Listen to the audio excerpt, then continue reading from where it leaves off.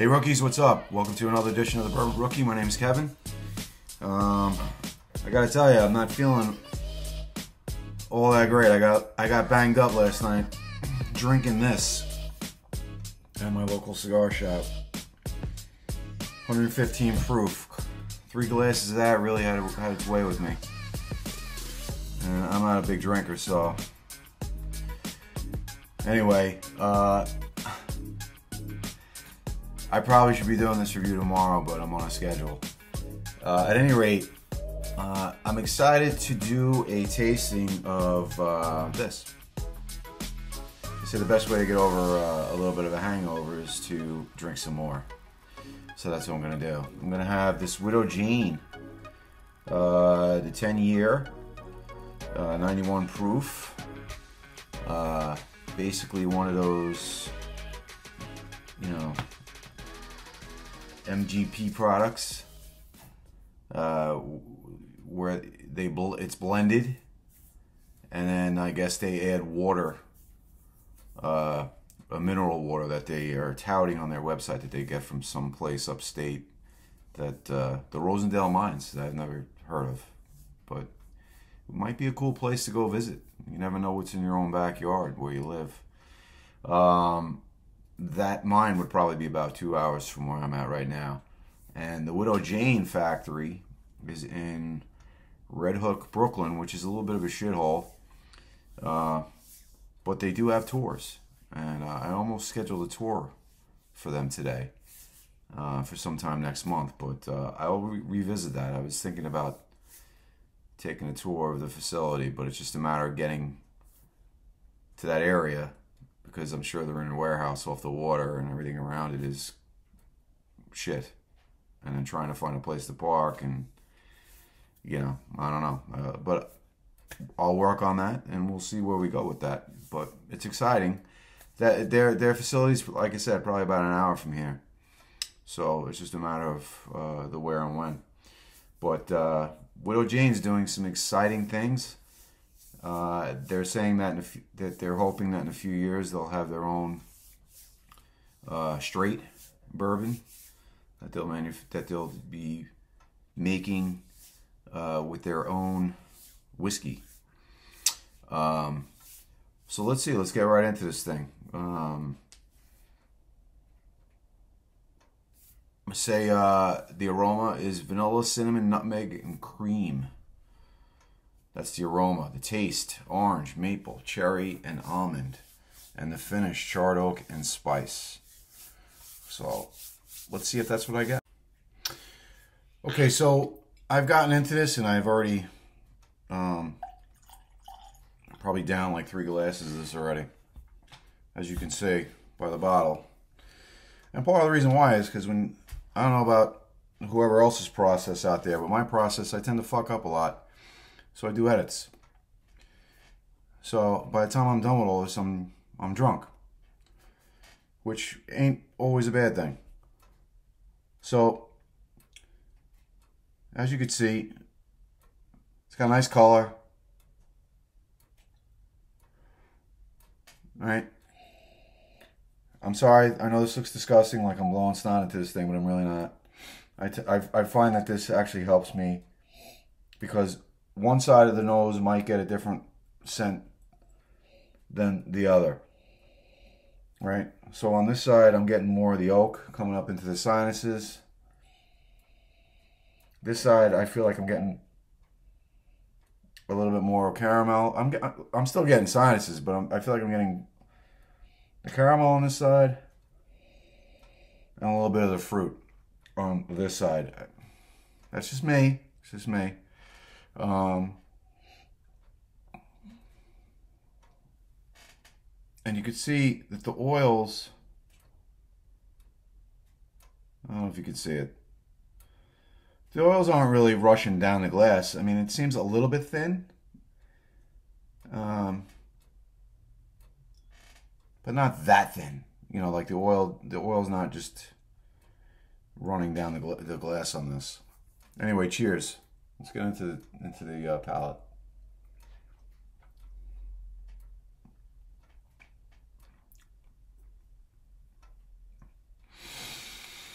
It's, it's really good. It's just so good. It, it's just it's just good. I mean, I'm getting the creme brulee. To me, the, the, the it's like a dessert, right? I'm getting the the butterscotch caramel creme brulee with maybe a little bit of an orange splash on it. Like, if that, I mean, it's just delicious. It's like something that you want after dinner, um, almost as an, uh, it's almost an aperitif. And it's it's odd that I'm saying that because I've done a couple of reviews recently. Uh, uh, Woodinville, Woodinville was the biggest one. The Woodinville Port, 90 proof. That is totally an aperitif because of the, the, the port finish. Just such a dessert um, whiskey. You can almost get that from this. Like, you just want, like, okay, here's the example. I mean, I just opened it.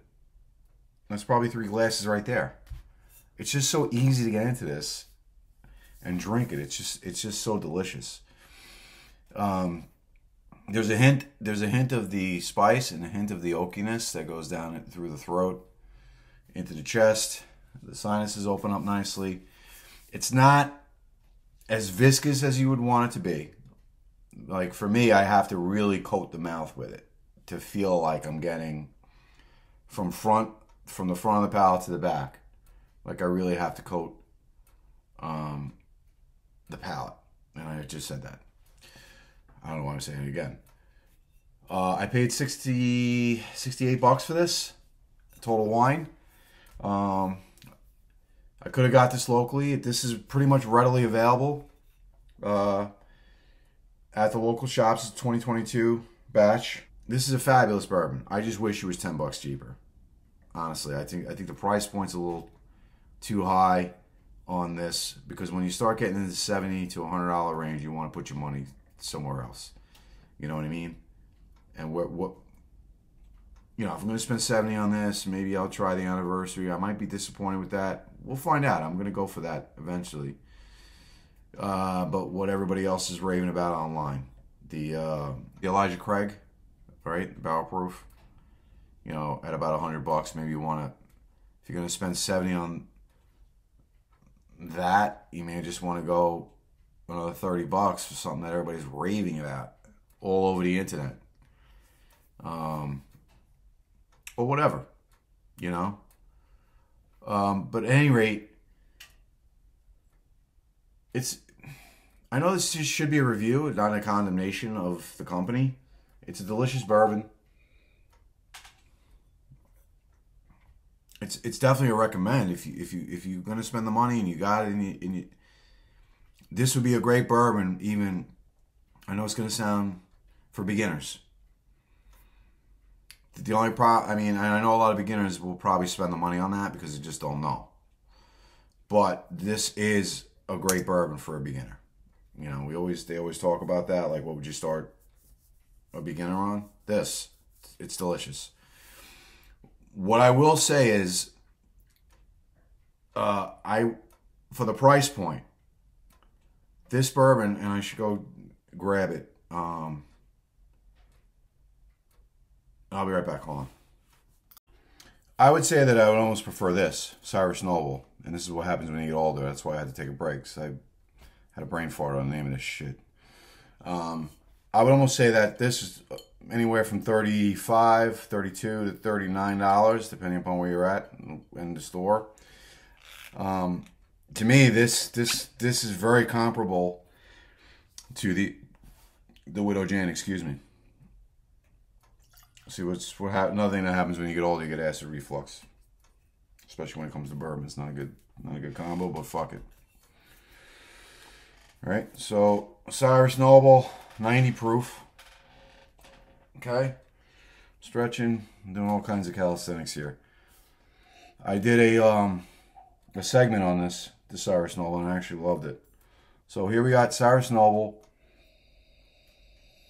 A little bit lighter on the nose, a little bit more eth- ethanol ethanol than this. But there's a hint, well, there's definitely vanilla.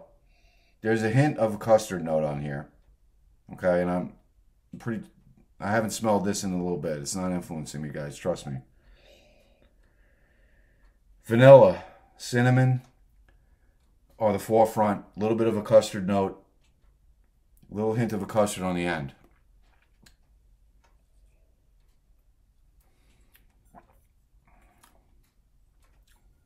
This one's a little bit tartar, more tart, excuse me. Lighter in color. It's thin, 90 proof. It's as thin as, well, last time I did this, I made a fucking mess. Can you see that? Viscous wise, it's about the same.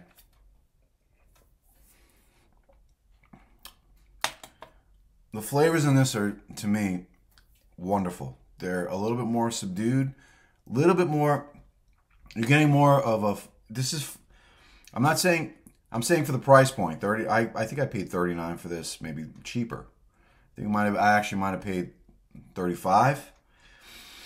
But there's a little bit more of a cherry on this as opposed to the uh, the Widow Jane. Um, there's a little bit of a, of a cream creme brulee, but there's a little bit of a difference in the spice profile because of the wood. I think this is made with like an it, like a an aged like a white oak. This is a white oak. I think this was aged in, and it's really good. It's really good. I would probably buy this all day long over the Widow Jane. And I listen. I love the Widow Jane but I just wish it was a little bit cheaper. I just wish it was to keep it in my rotation. Does that make sense? So that's all I'm saying. You guys do what you want with it. Get I I, I don't think the Cyrus Noble gets enough attention on the internet and in the market just because it's that's the only I think this is the only whiskey that these uh, that this company makes. It's just the 90 proof uh, by the Haas brothers. Um, but give it a shot. Let me know what you think head to head. You know, Cyrus Noble, Widow Jane. Like I said, the Widow Jane's wonderful. I haven't had all their products. I've had the 13 year, which I thought was wonderful. The 13 year, I think, is over $100 a bottle. It's a little bit. It's very. It's a, it's a lot more complex, a lot more oaky, a lot stronger in flavor. I did a uh, a single shot review on it because I, you know, it was one of those things that I can't I can't find it in the store. Um, but I was able to find it at a restaurant, and uh, I uh, I have a segment that called the single shot of um, allocated expensive allocated liquors that I can't afford to buy bottles of, but if I see it, I will pay the money and do the and do the, the single shot if it's reasonable. I did a George T. Stagg, which I, I think I paid $52 for one ounce, which was, believe it or not, uh, I, I think a little bit of a deal. Um, so that's one of my segments. I did a review on, on the 13 year that way because you just can't get it on the shelf uh, in a liquor store. And it was good. It was good. Would I pay 125 I don't know. I don't think so.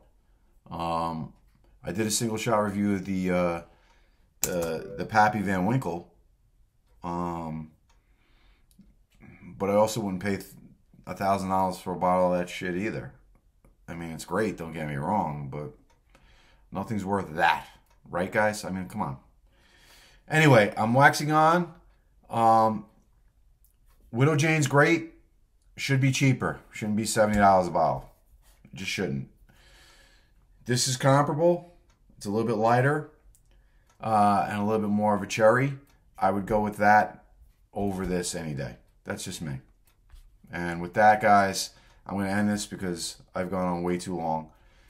Um, check me out on Patreon because I'm going to do the full version of this video. It's probably about 20 minutes of me uh, waxing on, and I'm just to have to cut this down because I've I've already gone on way too long, and I've probably lost everybody within 30 seconds. But uh, check me out for uh, my future cigar reviews. Did I mention already that I got the Padron Reserve online, no tax, no shipping charge for twenty nine fifty flat.